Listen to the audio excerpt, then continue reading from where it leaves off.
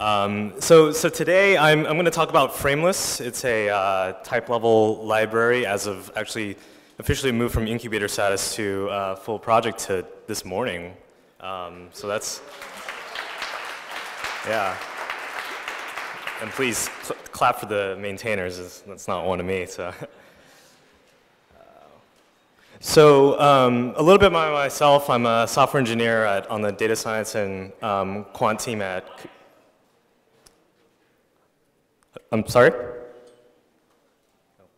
Uh, so I'm on a data science and quant team at uh, Coatue Management. Um, I've been doing Scala for the last five years, data engineering for the last uh, year and a half, and I live in Brooklyn, so it's nice to have uh, any Scala and Typelevel Summit in, uh, on my home turf.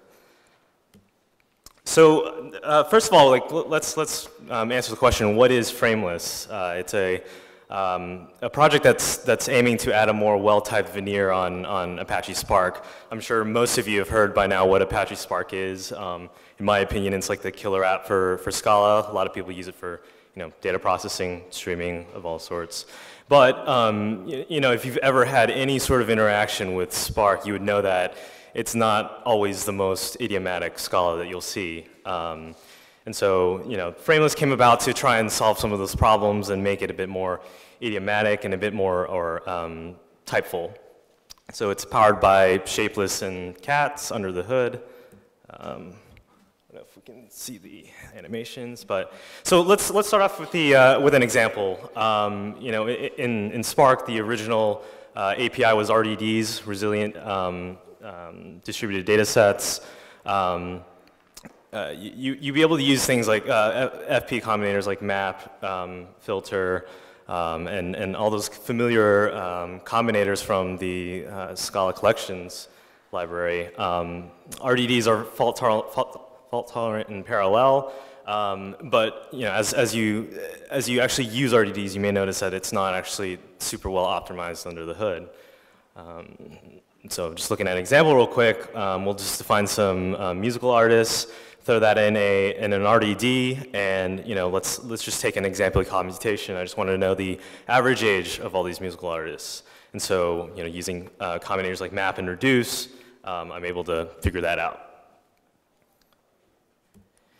So in the, um, later versions of Spark, I think this was maybe Spark 1.3 or 1.5, um, they introduced what's called a data frame. Um, if you've ever used anything like pandas in, in Python, you know that data frames is, is kind of an in-code representation of a table.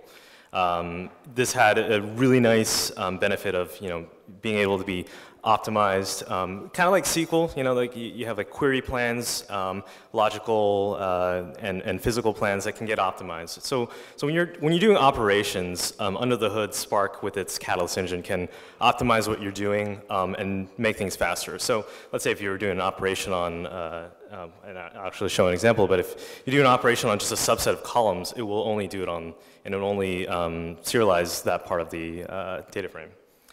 Fortunately, you know, this was kind of a step back in terms of an API. Um, if, if, anyone's ever worked with data frames, you'll see that it's uh, even worse in terms of the typing um, uh, discipline. So looking at this, uh, um, uh, the same example, we're just going to create a data frame from it. Um, we can pass in, you know, aggregate functions, select functions that use stringly typed columns in order to do its business. So you, you can see it in the second example where I try to select a non-existent genre column. Um, what I get is a runtime exception, and you know this isn't this isn't the nicest thing to do, right? If as we as Scala developers, we don't really like to know um, we really like to know what can go wrong up front at compile time. Um, and then in Spark 1.6 and, and Spark 2.0, um, data frames kind of became what's called a data set. Um, you know, think of these as a combination of both RDDs and data frames. You get the, some, uh, quite a bit of the compile time safety of RDDs with the uh, catalyst optimizations under the hood. And in fact, data frames are now type alias as data sets of you know, these untyped rows.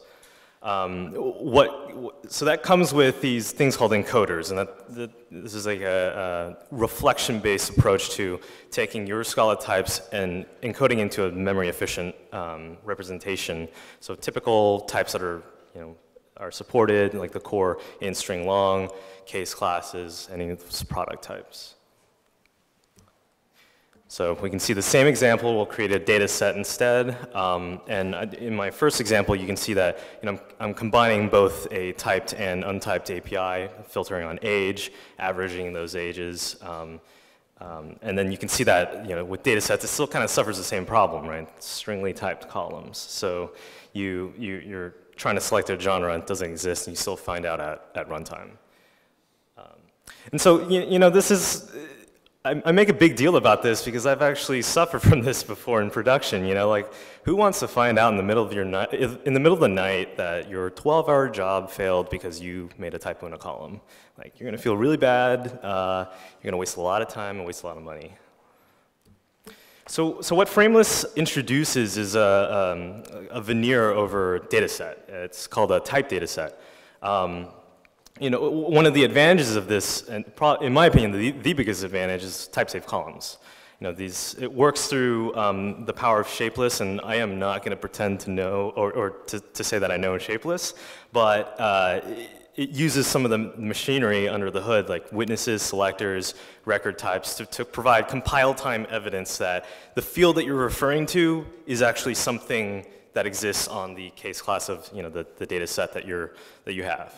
Um, and it, it, adds some other nice little features, like if you've ever worked with um, you know, any of the side affecting methods on, on data frames or data sets, you know that when you write something like dataset.show, it's a, it's a side affecting um, a method. So instead what type dataset does is returns a job that you explicitly have to run, kind of like um, you know, Scalaz task or, um, or any of the you know, um, monadic uh, container or uh, monadic types that need to be run. Um, and then, you know, another nice thing it adds is a typed encoder um, concept. And then this is, you know, compile time evidence that you can serialize a type to um, something that Spark can understand. Unfortunately, you know, this is still kind of a young project and we don't have enough like contributors or users. So we don't have, you know, 100% API coverage yet. So here's that same example, except we're just going to take um, you know, the, the artist and create a type data set out of it. And there's, there's you know, factory methods for creating this out of a sequence, out of a data set, whatnot. So um, this is mostly like the same example as a, as a data set, right? But the, the big difference here is like I'm selecting using a symbol, like that if this is a not super often used feature of Scala, but know, single, uh, single quote and then the name of the field. Um, that is a symbol, and then that is proven at compile time with shapeless and, and, and frameless to say, is this a field? Um, and so it's a type check column name, and then I use an explicit run. I'm able to get the same information, except it's proven at compile time. And then um, um, at the very end, this example of, you know, if I try to select a column that doesn't exist on, on artist, like uh, column blah, this actually doesn't compile. It's not a runtime error. Another example, not just selects and filters, but you know, we can do um, safer group bys, safer.as. If you've used dataset.as, um, you know, it, it kind of feels like a cast at times, and, and that's something that you only find out at runtime if that fails, except, you know, this is also compile time.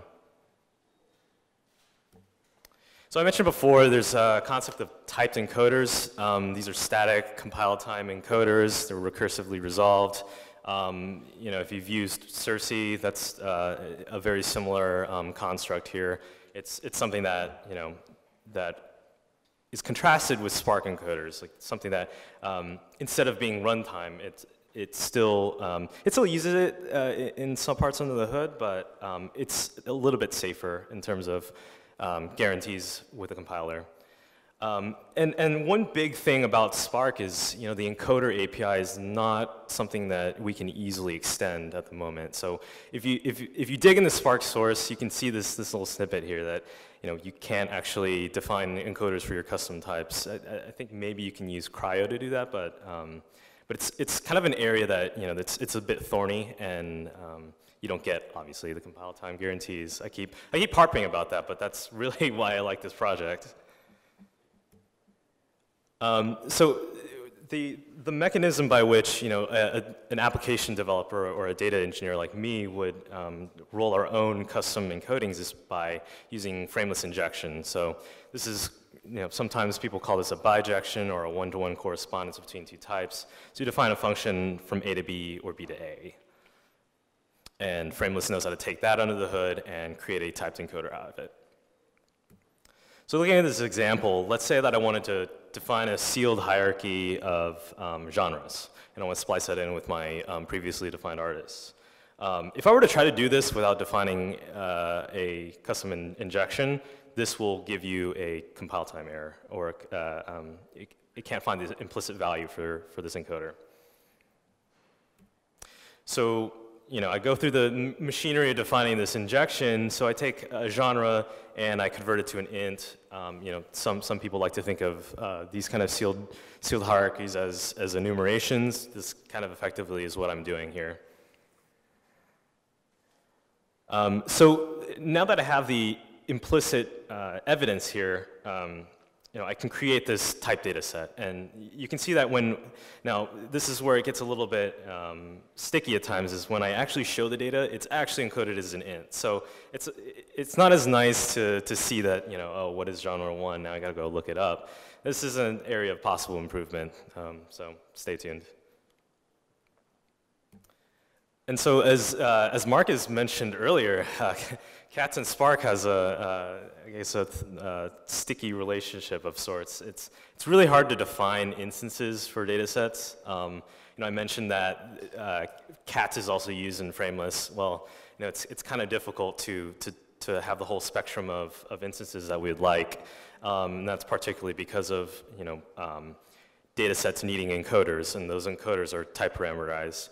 We can get away with this for functors of futures because um, uh, execution context doesn't take one. So in the implicit def, we're actually defining a um, uh, instances for, for futures, it doesn't need a, another type parameter. Same thing for monad. Um, you, you, know, if you think about what a monad would be like for data sets, you know, it's a nested data set of data set, and this effectively, if you uh, would be a, a car Cartesian join. And if you know about Cartesian joins in, in any sort of normal database or, or Spark, if you're not careful, you'll blow everything up. So in closing, I mean, this is a really a beginner level talk. I just wanted to um, drum up interest because I've had you know several conversations with people who are trying Spark. They're experienced Scala developers. You know, they look at this this API and they wonder why is this so uh, unprincipled. Um, and then, and then I, you know, I point them to this way. I'm like, hey, have you tried Frameless? And, and I get like reactions of like, oh, this is awesome. Like, I wish this was you know more fleshed out. And so, um, you know, type safe columns. I, it's, it's simple. It's, uh, I think people should use it. I think we need users and contributors. Um, we hang on Gitter. Uh, and I actually set up a repo of all these examples a little bit, a little bit more fleshed out and actually runnable. Um, so check that out. And then, of course, shout outs to the real frameless people. Uh, you know, their hard work enables us to do um, things, cool things with Spark. Um, and, uh, of course, I got to get in the plug. Um, if you're interested in what, what I've talked about, what we, uh, and possibly, you know, doing Scala and Spark, um, we're, you know, interested in talking to you uh, at Coatue. It's a hedge fund. We work with alternative data sets, um, doing machine learning, quant, um, NLP, um, and data engineering at scale. so hit me up after this, or find me on Twitter, or, or give me an email. Any questions?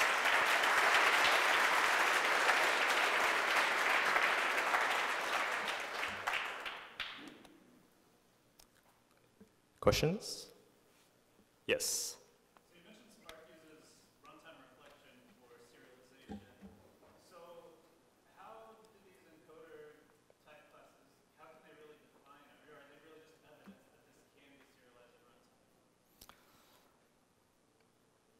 I'm going to have to think about that a little bit more. So, so are you are you asking if encoders use reflection, or if they if the evidence is provided with reflection? I guess I'm saying so. Is my encoder for stream does it actually define how to encode a stream, or is it just evidence that Spark won't blow up if you try to do that? Um, it's evidence that's hmm. Oh, that's a good question. So, so I've definitely tried to uh, define encoders for like custom types, right? I've, I've tried very hard to do that in, in some ways. And if you don't if, if it still is not serializable in, in a way that Spark likes, it'll blow up at runtime. So, so like i- I- I mentioned that it's hard to uh, define um, a functor for a data set because the map operation on data set requires an implicit encoder. So you can provide compile time evidence that you can, that you can um, encode your type. There's no proof that that en- encoding actually works at runtime. So I, I don't know if that answers your question, but it, it kind of gets halfway there, and then, and then you know, it can still blow up. Any other questions? Cool. Let's Yep, thank thank Lau. you. Long.